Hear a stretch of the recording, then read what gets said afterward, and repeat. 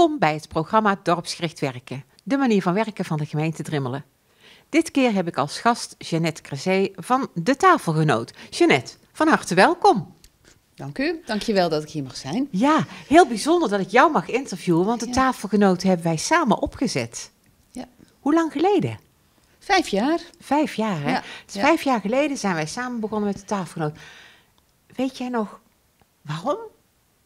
Nou, dat weet ik zeker. Wij hadden een overleg gehad. En dat liep eigenlijk op een eind, zeg maar, dat overleg. En toen zaten we al twee van, wat doe jij met het eten en wat, wat ga ik doen? Dus daar hadden we een heel leuk gesprek over. En toen zijn wij uiteindelijk bij eh, Hier is het terechtgekomen. Om daar, eh, om daar te eten. En daar is het idee geboren om inderdaad met de tafelgenoot dus eten voor alleenstaanden. Omdat wij beide tegen hetzelfde aanliepen. Ja. Ja. en wat jij al zegt, want ik wil net vragen, De Tafelgenoot. Kun je daar iets meer over vertellen? Wat is het concept van De Tafelgenoot? Nou, dat is een eh, eh, eten voor alleenstaanden. Mhm. En dat is natuurlijk heel ruim. Ja? Het is absoluut geen dating eh, gebeuren. Ehm, mensen zijn, het is heel vrijblijvend, gezellig. geen, geen bijzondere constructies. Iedereen heeft gewoon een gezellige avond en that's it. Je bent geen lid als je een keertje bij De Tafelgenoot bent geweest? Nee. Zie je mensen terugkomen? Jazeker, gelukkig wel. Ja. Ja, Zie je nieuwe mensen komen? ook. En dat is ook mooi dat ja, dat iedere gebeurt. maand komen er eigenlijk ook wel weer nieuwe mensen Ja. bij. Hè?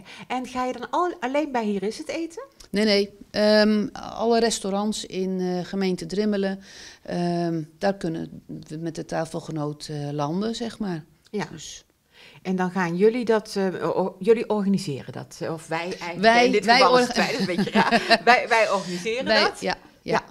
Dus wij, wij zoeken het restaurant uit eh, en dan, eh, dus daar nemen we con- mee contact mee op. En dan, ja, meestal ben jij dat. Ja, ja. En proberen we een, mooi, een leuk minuutje te Ja. regelen met een mooie prijs erbij. En dan doe jij eigenlijk de communicatie. Want hoe bereiken we die mensen die thuis zitten, die alleenstaand zijn? Hoe weten die wanneer ze er- ergens kunnen eten, waar ze zich kunnen melden? Hoe werkt dat? Ze kunnen het lezen in het carillon. Eh, Ja. We hebben een Facebookpagina. En, ehm, Bij Omroep Drimmelen binnenkort. En bij. Omroep Drimmelen, als het goed is. Ja, Ja. dat is wel heel handig.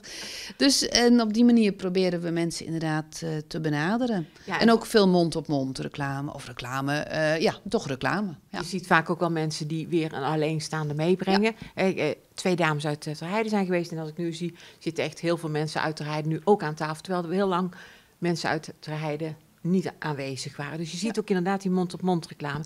Jij hebt ook ehm, van de mensen die dat willen, hou jij de e-mailadressen bij, zodat ze als eerste uitgenodigd kunnen worden. Want soms is een restaurant eh, net te klein voor onze groep, zeg maar. En dan moeten we erbij zetten, vol is vol. Ja.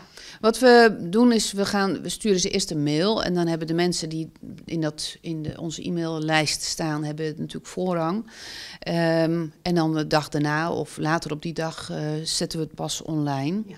Zodat de mensen die in ons clubje, nou clubje, maar dat is een beetje een raar woord misschien, maar geen club, maar Het is, het is inderdaad geen club, maar het is, eh, de mensen die bij ons op de lijst staan, die krijgen eerst een mailtje en dan daarna eh, komt het pas openbaar. Ja, en kun jij een beetje zeggen hoe mensen dit ervaren die daar naartoe komen?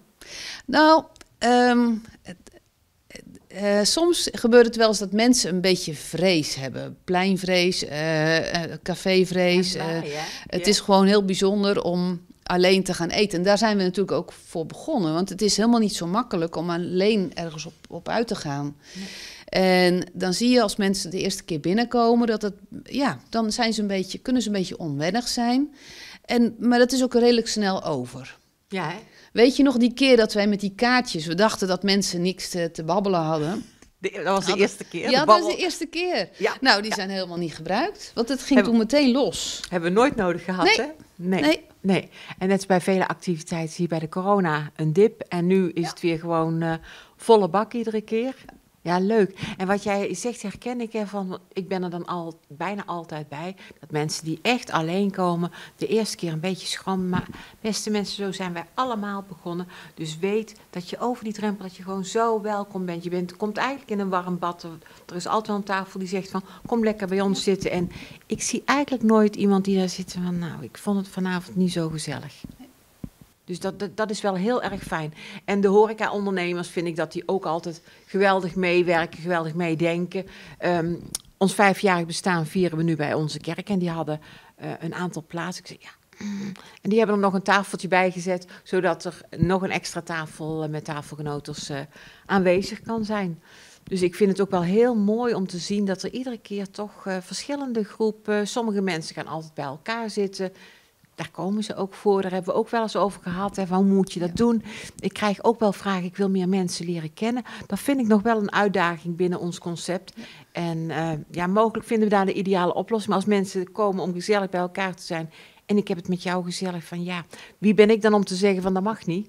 Maar ik zit met die andere vraag van ik zou heel graag meer mensen willen kennen. Dus dat is een beetje uh, laveren, zeg maar. Ja, maar daar komen we nog wel een keer aan uit, denk ik. Hoe ja, we dat, dat anders kunnen doen ja. of afwisselen. Ja. De ene keer blijven zitten en de volgende keer zeggen van joh, vandaag wordt er gewisseld. Maar dat moeten we nog maar eens een keer, denk ik. Uh, inderdaad eens aan onze tafelgenoten vragen. Ja, dat zou natuurlijk ook nog of kunnen. Of daar zelf idee Of ja. de kijkers thuis die zeggen van... Goh, hebben jullie daar al wel eens aan gedacht? Ja. ja. Jeanette, wil jij nog door blijven gaan met de tafelgenoten? Jazeker. Nou, ik ook. En Lilian. Ja, jij ook? Ja, Zeker gelukkig. weten. Dus beste mensen, wil je een keertje komen eten met alleenstaande... dan ben je van harte welkom. Jeanette, jou wil ik heel hartelijk danken voor dit gesprek. En u... Uh, terug. Of natuurlijk bij de tafelgenoot.